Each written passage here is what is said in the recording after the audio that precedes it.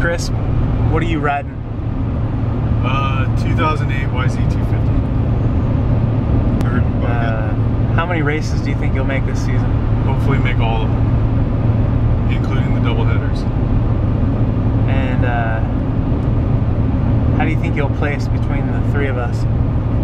Um, faster than you guys, probably. More laps? Uh, no, pro- probably. I bet we all finish on the same lap. Oh, really? Would be my guess. Well, if nobody has to stop for fuel and there's no problems or anything. That's my prediction. And how do you think you'll do in, in your class?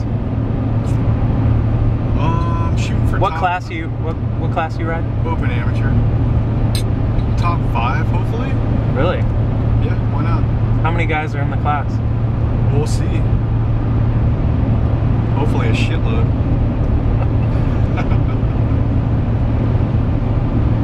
And uh, what else did I ask?